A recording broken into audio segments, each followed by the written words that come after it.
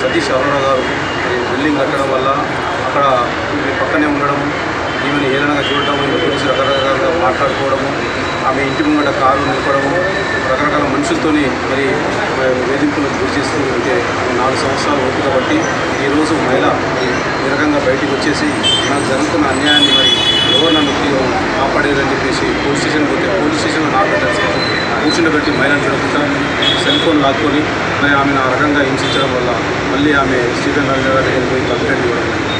Complaint ఇచ్చి కూడా మూడు రోజులు నాలుగు రోజులు అవుతున్నది ఇంతవరకు ఇచ్చలేదు మరి ఇది ఇంతవరకు న్యాయం అని చెప్పేసి మేము కోర్టు నియోజకవర్గం అందరం కూడా కలిసి మరి కేపీఎస్బీ కేపీఎస్బీ పోలీస్ స్టేషన్ ముందు నిర్వహించాం నిర్వహించిన తరుణంలో పోలీసులు రౌడీల్లాగా ఎస్ఐ రాజేందర్ ఇంకో ఎస్ఐ కొత్తగా వచ్చారట సత్యనారాయణ ఇద్దరు కూడా రౌడీలాగా వెనక నుంచి తన్నుకుంటూ పిచ్చుకుంటూ తెల్లలు పట్టుకొని మా జిల్లా అధ్యక్షుడు అతీష్ రెడ్డి గారు దళ్ళ పట్టుకొని ఈడ్చి లోపలికి నూకడం అనేది ఎంతవరకు భారతీయ జనతా పార్టీ కార్యకర్తలు చూస్తూ ఊరుకోలేదు మీకు భయ భయపడే కార్యకర్తలు కాదు దయచేసి అర్థం చేసుకోవాలి పోలీసుల మీద.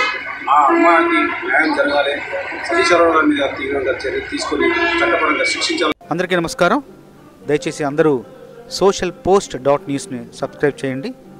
మంచి మంచి వార్తలు తాజా వార్తలు విశ్వసనీయత కలిగిన వార్తలు చూడండి. Please subscribe to social post dot news hi I'm Priyadarshi please subscribe to social post dot news hi నేను మీ Saptagiri. Please download social post app hi I'm Kashish Vora please download social post app